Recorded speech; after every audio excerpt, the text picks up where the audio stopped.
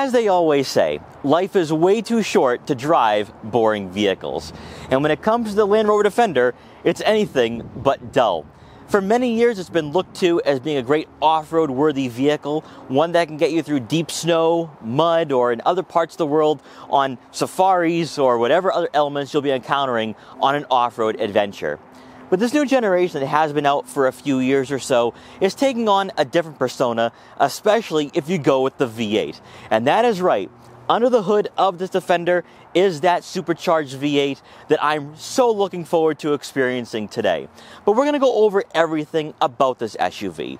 We're gonna check out the features that it comes with, the interior quality, but also see if it's a great alternative to a Mercedes-Benz G-Wagon or a Porsche Cayenne or even a BMW X5M. And we're also going to see why, if you are looking at buying a rugged SUV that's also very classy, upscale, and luxurious at around $120,000, then maybe taking a look at the Land Rover Defender with the V8 might be a great decision. Now before we get in this video, I want to give a huge shout and thank you to Jaguar Land Rover Peabody in Peabody, Massachusetts for allowing me to this review. The link will be in the description below, so you can check out their extensive Jaguar and Land Rover inventory. Also, before we get started, make sure to hit the subscribe button and click the notification bell so you're notified every time a new video goes live on the channel. And so, without wasting any further time, let's get right in this review.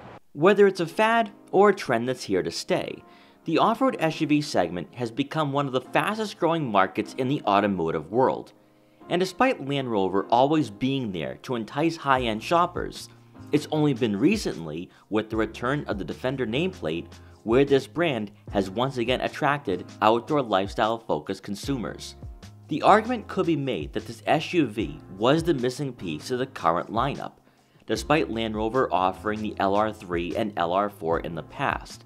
But it's the Defender's proud lineage and history that's offset some of the newer arrivals to this segment, but also its flexibility of offering a two-door model or three-row variant with the 130 is something that can't be overlooked. Starting off with pricing, the Land Rover Defender 110 with the V8 comes in at just over $110,000, slotting just beneath the Carpathian edition in the lineup. What's made the Defender intriguing and an alternative to so many traditional off-roaders is the fact that you have a number of different powertrains to choose from, and better yet, the price range covers a wide swath of segments and markets where buyers can choose a model just below 60 grand and work their way up to a well-equipped example that suits their lifestyle. With the standard air suspension for this Defender, you can easily tackle the elements, but also there's the benefits of having an adaptive suspension that translates to on-road trips, as this SUV isn't the most harsh to drive when encountering imperfections on the roadways. When it pertains to the design of the Defender, this generation is a completely different entity compared to its predecessors.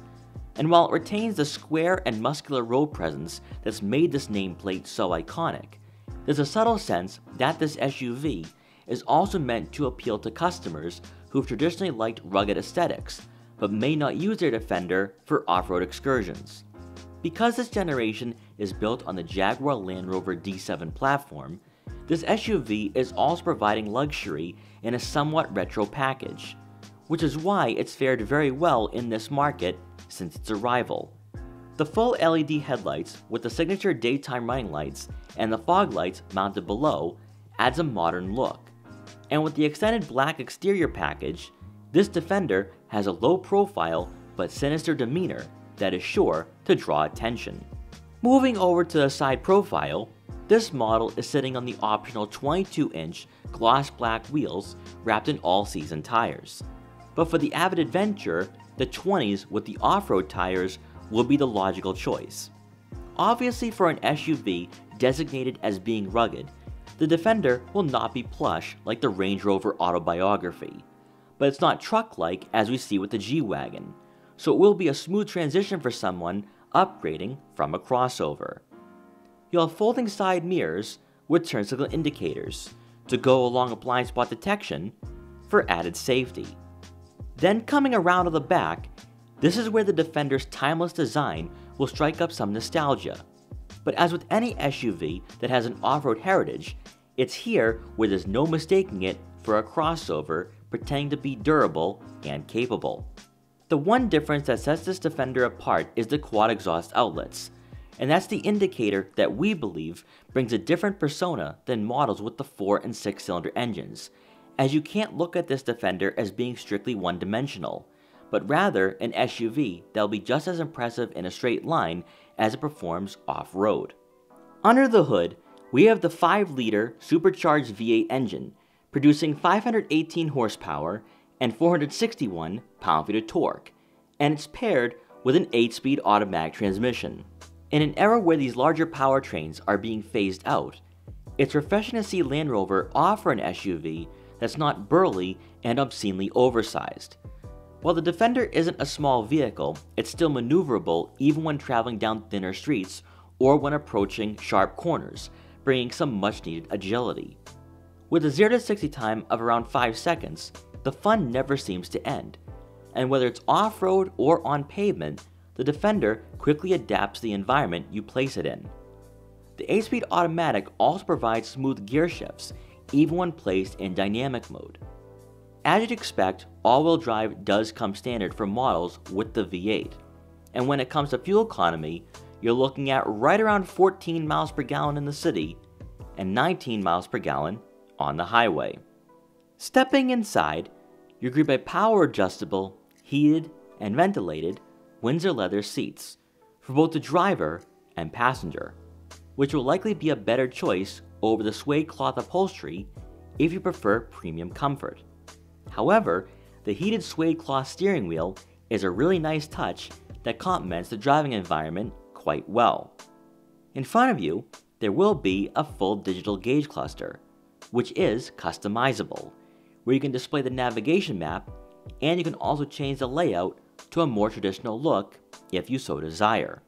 The head-up display is very easy to read and can be adjusted to be at eye level so you won't have to look down at the speedometer and instead keep your eyes on the road. Then moving over to the infotainment system, you'll have the larger 11.4 inch touchscreen with Apple CarPlay and Android Auto compatibility to go along with onboard navigation and the Meridian sound system. Much like we've seen across the Jaguar Land Rover family of vehicles, this head unit is very tablet-like, making it almost second nature to use the minute you step inside and start interacting with the interior. From this screen, you can monitor off-road and performance statistics, access climate control settings, and if you forgot how large the Defender is, there's even a menu that shows you its dimensions. Most of the learning curve will come from the controls found beneath the screen, as the dials are home to a number of functions besides setting the interior temperature. They control the heated and ventilated seats, fan speed, and also helps you select which drive mode you want to be in. Helping with the visibility when parking the Defender, you'll have a variety of camera angles to choose from to ensure you don't accidentally bump into anything when navigating your way through tight spots or when backing up. Making our way towards the center console, there will be a wireless phone charging pad. But possibly, one of the coolest features we've come across is the cooled center storage compartment to keep drinks at desired temperature. And while not appearing to be sizable on camera, you could certainly fit bottled water in this cubby. Trendy, but becoming common, is the storage space beneath the center console for an additional phone or wallet. Then to round out the front seating area, above will be a power moonroof to let in a lot of natural light to the interior. Now moving on to the second row, we're going to start off on the passenger side. And this seat has been adjusted all the way back and is somewhat on a recline and I have a lot of legroom to work with here. Now, that's one thing I really like about the Defender is that it's certainly family friendly. It's not just a vehicle that you can take off road, go on longer road trips, or even flex on a city street. This is a great all around daily driver and also a vehicle that I think you're gonna have a blast owning, especially if you do have a family. Now, of course, I'm not the tallest person out there. I'm around 5'5. However, you still have a lot of room here if you are somewhere on the height of 5'8 or 5'9. So if you have taller passengers up front, you can sit back here pretty comfortably. Also, of course, with the higher roof line, you have no problems and no issues if you are someone who is taller because you won't be hitting your head on the headliner at all, even with the massive panoramic moonroof. Also, shoulder room isn't that bad at all, but we're going to find out if you can't fit a third person back here. Now, moving on to the center seat, there are some good placements for your feet also, if you need to. You can just slide your feet in a bit more that way both passengers on the outboard seats can be a bit more comfortable. Now, I have plenty of shoulder room here, so I think you could definitely have three average sized adults sit back here on a longer drive. So if you are going on that off road trip and you want to have your friends tag along with you, you can definitely do that for sure. Then on the driver's side, the seat is adjusted a bit more further up to someone around my height of 5'5 and I have plenty of legroom, so I can just sit back, relax, and enjoy the driving experience. But also, with the Windsor leather upholstery, you're to be very comfortable back here, especially on those longer drives. Also back here, you have two rear air vents mounted on the center console, heated outboard seats, climate control, and rounding out the second row seating area, you do get a center armrest with two cup holders. Now coming around to the back, with the Defender, you will have the traditional tailgate. And inside, behind the second row seats, you're looking at right around 34 cubic feet of room, which is on par with other vehicles in this price range and for SUVs of this size. Also, since you have a higher roofline and this cargo area being nice and wide, you're gonna have no problem fitting all your equipment with you if you are going off-road or maybe you're going on a road trip with the family. I was able to fit all my camera gear today, so that's two bags of camera gear, a gimbal box, and a tripod Probably could have stacked on a tent or other outdoor equipment if I was going off-road with this vehicle today. One feature I really like as a shorter person is the fact that you can lower the rear suspension so that way you can slide all your items back here no problems. You don't need to lift up and throw your gear inside. I really like that and a lot of other SUVs in this price range offer similar features like that. Then with the second row seats folded, you're going to have right around 79 cubic feet, once again being very much on par with other SUVs in this market. So if you are looking for something a bit more adventurous, a bit more practical, and just an all-around great SUV, definitely take a look at the Defender. Then of course you will have a rear mounted spare tire, so if you do encounter a flat on your road trips or travels, you can fix that and be back on the road. And finally, for the moment we've all been waiting for, let's take out the V8 Defender and see how it performs.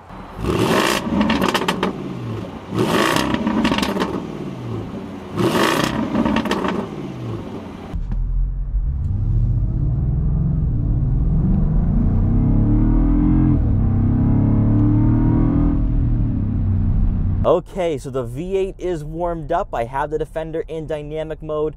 Let's see how this vehicle performs, how it handles, how it drives, how it compares to other premium luxury SUVs in this market, and also see if it's a great alternative and a more affordable alternative to a Mercedes Benz G Wagon.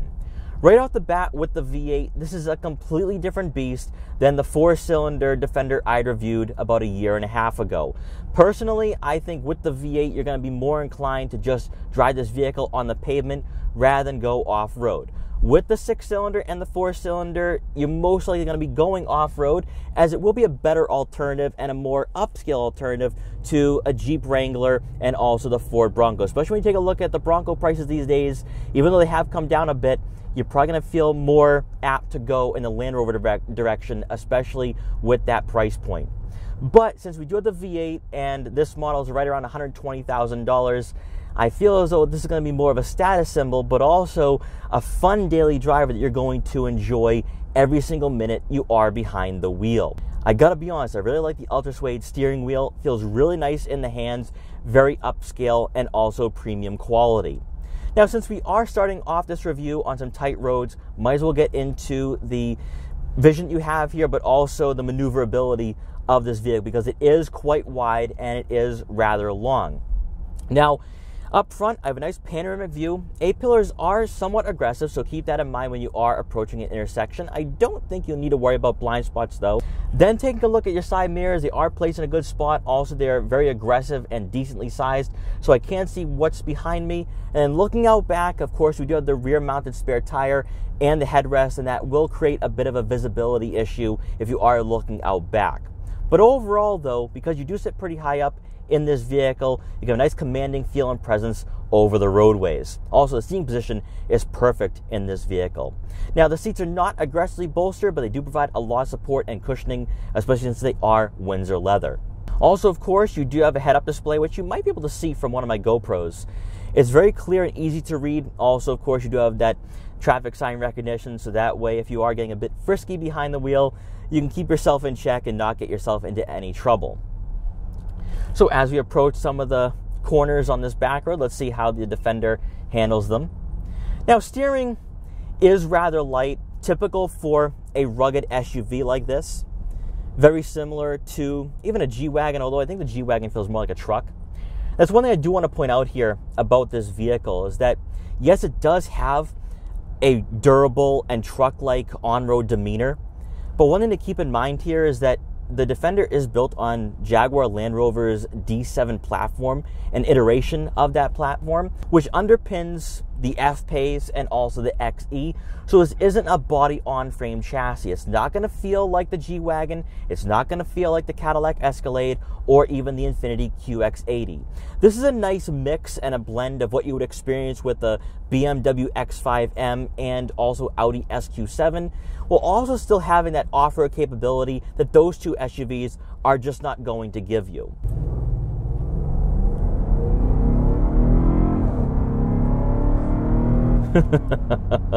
Zero to 60 times come in just over five seconds, which is unbelievable for an SUV of this size. Now, the 8 speed automatic transmission, the gear shifts are so smooth and crisp, and it just gives you that aggressive and dynamic feel that you're looking for in an SUV with this powertrain. Also, I love the grunt and the muscle of that V8. Really gives this SUV a lot of character, especially at around $120,000. That's one of the reasons why I feel that if you are looking at buying a Land Rover, you gotta go with the V8. Now, of course, if you are on somewhat of a stricter budget, I'm gonna use that term very lightly because starting prices come in at around $54,000, $55,000 for the four cylinder. It might be a bit higher than that. So it's not going to be the most affordable vehicle out there. But if you do have the budget for a vehicle at around $120,000, don't skimp out. Go with the V8 rather than the six cylinder. Now, I do think though that with the six cylinder, you're probably going to feel more apt to maybe be a bit more adventurous. But with the V8, this is really going to be a different style, a different persona, a different personality. For one, you have the nice sounding exhaust, which does get your heart racing. But also, when you take a look at the design of this vehicle, it is a departure from the Defenders of old. It's not necessarily one that you look at and you say, all right, I am going to go on an outdoor adventure. I'm going to go on a safari. This is more like a vehicle that's maybe a more affordable alternative to the Range Rover line, where if you really can't go all out for an autobiography, go with the Defender because you're still going to have the nice interior materials, going to get the technology, full digital gauge cluster, nice 11 inch touchscreen, but you're not spending $160,000. Also, another thing, too, is that this vehicle has such a presence on the roadways. You're drawing so much attention to yourself, which is why I think that if you are a high profile person, you might like this vehicle because one, it still gives you that appearance of being upscale, wealthy, but also, in this particular spec, being all blacked out, it also has more of a lower profile look that I think is really cool, but also really gives this vehicle a very striking personality.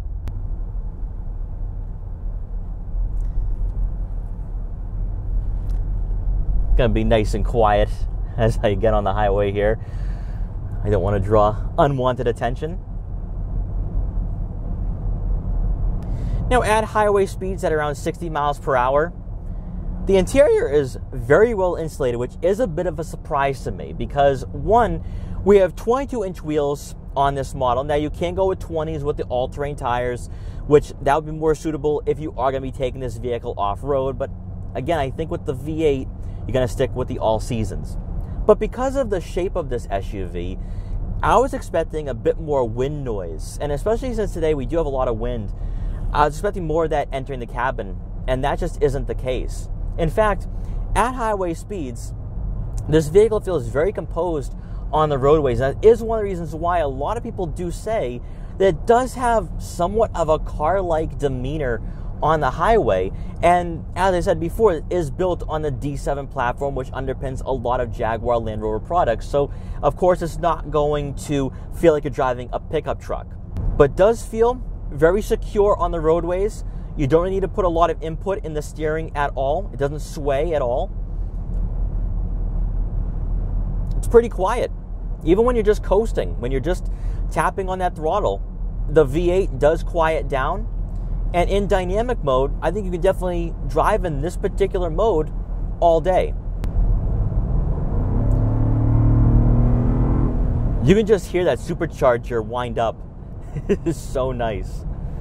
Now, getting back to the interior dimensions of this SUV, you have a lot of shoulder room to work with. But one thing I do like though is that it's very maneuverable.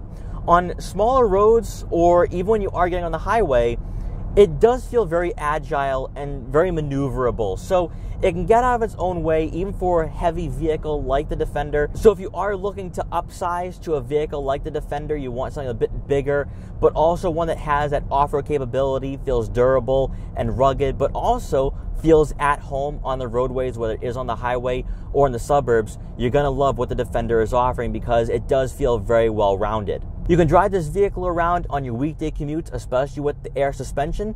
As you go over the bumps and imperfections in the road seamlessly, you barely feel them at all, which is why the Defender is going to be suitable if you do have a family. Also, you can take this into town, park it on the city streets, go to the shops. You also have the interior spacing where if you want to do some retail therapy, you can do that. Can buy everything to your heart's desire, and it's just a vehicle I think is perfect for a lot of consumers of all ages. So, all in all, after this test drive, I feel the Land Rover Defender is a great vehicle for somebody who doesn't want the driving experience that you'll receive with a Wrangler or Ford Bronco, but you also don't necessarily want to have a one dimensional SUV like a BMW X5M or a Porsche Cayenne GTS or Turbo, which can't go off road, which isn't going to have those rugged attributes that you might be looking for. Where on those rare occasions, if you are going up to the mountains to ski and snowboard, you're going to feel more inclined to take on that deeper snow. But also, if you are somebody that really does want to go on those off road adventures and get this vehicle muddy and dirty, the Defender has that design that I think really suits getting that mud on the paint. Whereas Porsche Cayenne and uh, the BMW X5M, most likely not. So the Defender, in my mind, it's that nice middle of the road choice. It's not going to have that pickup truck like characteristic like you see with the Cadillac Escalade and the Infiniti QX80 but it's also not going to be soft and only purpose built for the on road experience like you're going to see from other European competitors. So, to quickly wrap up this review, and after spending some time with the Land Rover Defender, I've come to the conclusion that this vehicle really is the sweet spot in the Land Rover lineup. You can go with the four cylinder, the six cylinder, or the V8. You can go off road with this SUV, or it can solely be used for on road driving. And I think that's mostly what the V8 is going to be used for. It's a great alternative to the BMW X5M, Porsche Cayenne, or even the Mercedes Benz G Wagon. But you still have that capability when you want to go off road or take on some deeper snow. I also feel that with the V8, this SUV has far more character than the four cylinder. Now, of course, you are paying a premium around 115 $120,000, but I think it's totally worth it, especially in its segment. You have plenty of practicality, a lot of interior space, but also a good amount of technology as well. But ultimately, it comes back to the driving experience with the V8 as it adds so much to this SUV more so than the six cylinder and the four cylinder that I had reviewed a year and a half ago. And that's why I feel that if you are in the budget or in the market for a vehicle at around $120,000, definitely take a look at the Defender V8. I think it's going to be a very fun vehicle for you. So guys, thank you so much for watching this video. Please like, comment, share, and subscribe for more. Also, make sure to follow me on Instagram at Boston Autoblog so you can see what I'm up to and what vehicles I'll be featuring in the future. And I will see you guys next time.